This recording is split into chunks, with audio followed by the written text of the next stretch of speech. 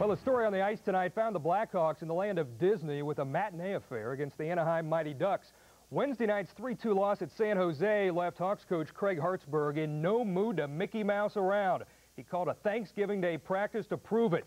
But did it work? We head to the pond, take a look at this one. Pick it up in period number one. Here come the Hawks. Tony Amonte to Sergei Krivokrasov. who goes wide of the net, but Guy-Hebert goes down and with a pad save. That's one of 27 saves. He stops Krivokrasov. Now follow the bouncing puck. Chelios tries to take control, but Teemu Selanne picks his pocket. You don't see that often. Finds Paul Kariya, snaps the wrister past Jeff Hackett. 1-0. The Ducks were quacking. Tough day for Gary Suter. Ted Drury says hello. Gary says my head hurts. Second period. Ducks applying the pressure. Jari Kurri to Ken Baumgartner. He has Hackett down and out, but here comes Cam Russell. He clears the crease. Hackett pays back Drury right there and gets the penalty. Ducks capitalize. Kariya's wrister almost decapitates Jeff Hackett right there. Over his head, finds the net. Brian Bellows gets credit for the goal. 2-0 Ducks. Here come the Ducks again. Korea centers to Bellows. Bellows delivers the one-timer. This one, though, gloved by Hackett.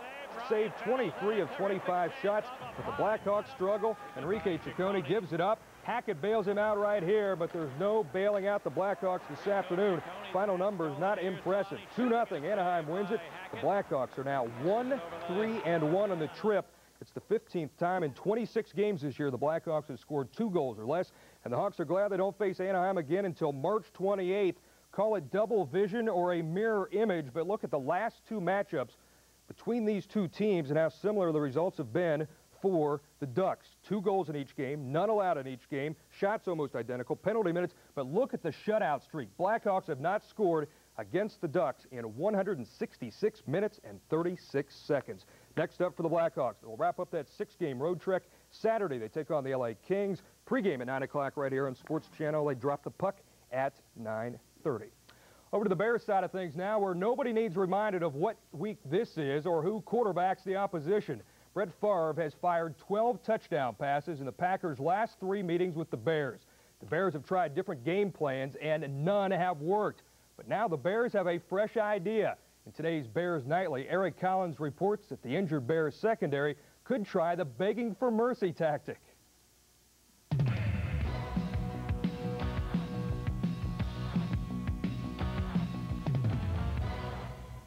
Brett Favre finds himself looking for the Bears' Achilles heel this week, he may just locate it in Mark Carrier's left ankle. Carrier's sprained ankle will definitely keep him out of the starting lineup against Green Bay, and it may end his streak of 108 straight games played. That's what's tough about this, and of all, you know, and particularly this game, you know, the, our most important game of the year. So that's that's but you know we'll see. He's better today. We're not rolling him out from playing third year man anthony marshall will assume carrier's free safety spot. Last week in three quarters of work against detroit he logged six tackles and broke up three passes. It don't make no difference at all. You know most of the guys out here we've been together ever since july and we've been we're in jail together and we know responsibility we have to have on ourselves and as a team too. Marshall's really looking at this as an opportunity, and uh, and there's nobody on our defense is concerned if if if Marshall starts the game and Mark doesn't. Uh, you know, they, we've got a lot of confidence that Marshall will do the job. It's safe to say that Bears coaches were pulling their hair out in clumps early this week when the other starting safety, Marty Carter, came down with the flu. But the good news is Carter practiced today, and he's expected to play on Sunday. Carter's one of the many Bears who've been battling the flu this week. He's still under the weather, but he practiced today. Also in uniform was Walt Harris. Harris has been experiencing agony of defeat. A nagging turf toe problem kept him on the sidelines against the Lions. I'll be ready to go. Um, I had a good practice this week. Things working out well. My feet feeling better, so I think I'll be ready to go Sunday. Needless to say, the Bears will need to have as many hands as possible on deck this Sunday. A loss in Green Bay, and the Bears' playoff hopes will be sent packing. At Halas Hall, I'm Eric Collins for Bears Nightly. Now here's that Bears last line of defense. Carrier, Harris, Carter, Woolford combined the numbers this year, 13 interceptions. Carter and Woolford have combined for eight of those. They have forced five fumbles, recovered three of those, three sacks. Tackles per game averages out to 36 0.3. That secondary definitely will be tested on Sunday against Brett Favre. Speaking of Sunday, Sports Channel is the place to be Sunday night. No show tomorrow night because of the Blackhawks. Sunday, though, we'll give you features, interviews, and analysis. It's this Sunday night for Bears Nightly on a special hour-long report. Get all the analysis and insight from Michael Timpson and Doug Buffone following Sunday's game with the Pack. Now, from the NFL, we head to the high school ranks where the road has led to normal and state championship weekend. Four champs crowned today, two more tomorrow. Today's headliner featured 4A Providence gunning for a three-peat and their 42nd consecutive win as they faced Metamora. Let's take a look at this one. Talk about starting things early. How about the first play of the game? Providence with the ball. It pops loose.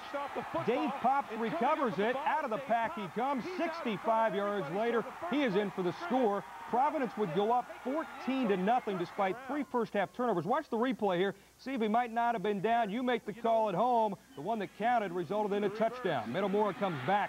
This is Allen with a 48-yard run, bust through the hole, and no one will bring him down. Redbirds bounce all the way back to tied at 14 at halftime. Second half, it's that man again. It's Allen, this time with a heck of a catch. Watch the throw and watch the receiving end. Allen goes up, grabs the catch. It is good despite the flag. Metamora thinking upset, led 21-14, but Providence would get within one, then put it away for good. The 10-yard run by Robert Cruz, and Providence celebrates again. What a way to go out for the senior class for the Celtics. Providence outscores its opponents in the postseason 210 to 48, their third straight title. Congratulations, 28 to 21 the final score. How about 3A, Carterville versus Spring Valley Hall, and I hate when this happens, don't you, Steve, Norm? What do you do in that situation? Carterville strikes back. Billy Pinkston carries the mail from five yards out. He carried it for 1,400 yards going into this game. They built a 14 to nothing lead. But Spring Valley Hall didn't get here by quitting, and they rebound. Josh Turigliotti, two touchdowns of the night. This one evens the score at 14 apiece. They then take the lead. Eric Yearley with the sweep, little hop, skip, and a jump into the end zone, 20 to 14. Red Devils had the lead. It was raining. But the Lions wouldn't be stopped by rain, sleet, snow, or anything else. Kenny Richards singing in the rain. Carterville wins the 3A crown 23 to 20. The final score, Carterville finishes up 14 and 0. Spring Valley Hall finishes at 12 and 1. How about Class 2A? Moweaqua against Leroy. Moweaqua was up 6-0 in this one and then adding to it. Watch the misdirection and then the blocking.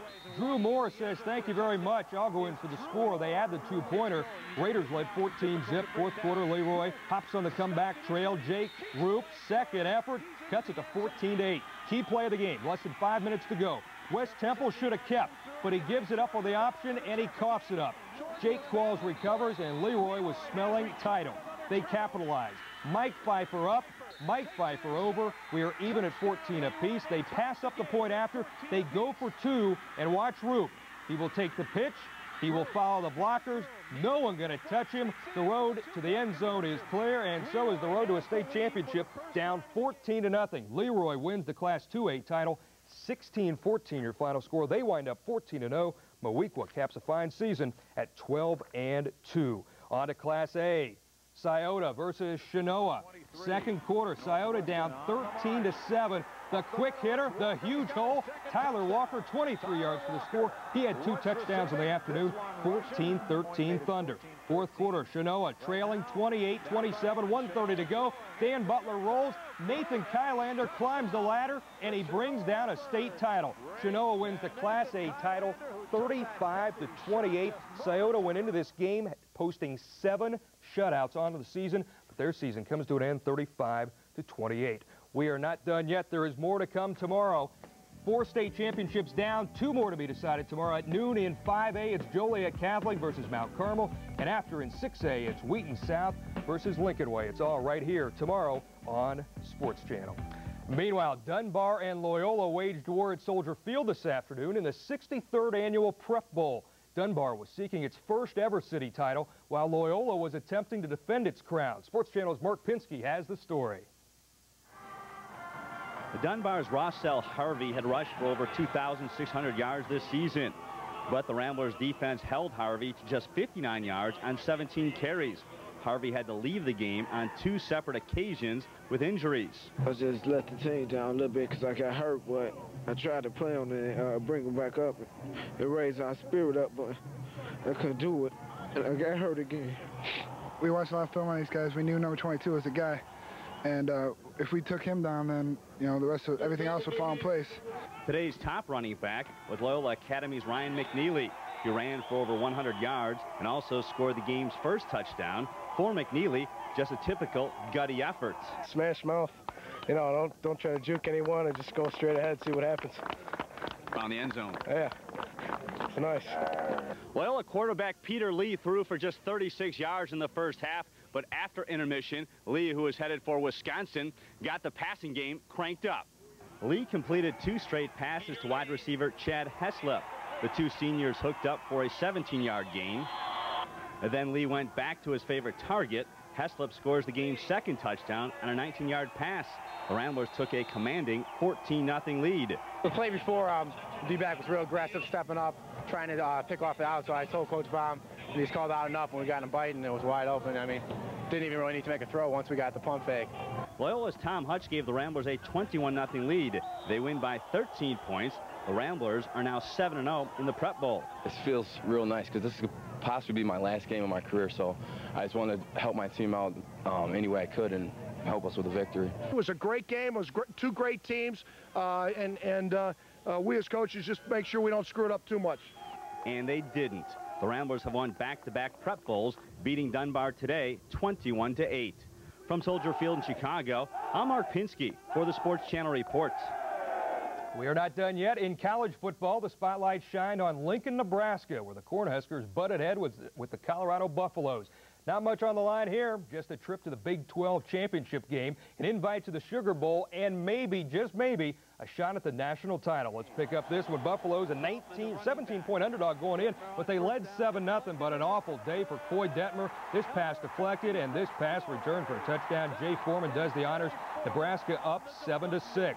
Second quarter, Nebraska freshman running back D'Angelo Evans slices and dices seven of his 123 yards, and the Husker heads were happy. 17 to 6. They had the lead. Fourth quarter, 17 to 9. Detmer up top and watch the catch. Not the interception, but the catch. That's Phil Savoy who takes it away. They settled for a field goal, cut it to five. Less than three minutes to go.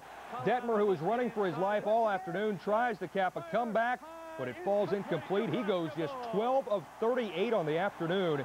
Nebraska hangs on in Lincoln. The Huskers beat the Buffaloes for the fifth consecutive time. They have won 36 straight at home, 31 in a row in the conference. Next up, they will play Texas in the inaugural Big 12 title game. Then their next stop could very well be a Sugar Bowl date with the winner of Florida State and Florida. Still to come, Norm and Steve return to take you through the rest of the night in the NBA. And the General leads his Indiana Hoosiers against the Duke Blue Devils in the finals of the NIT. But first, here's the rest of the night in college football.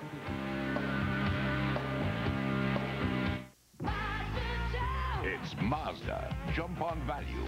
Great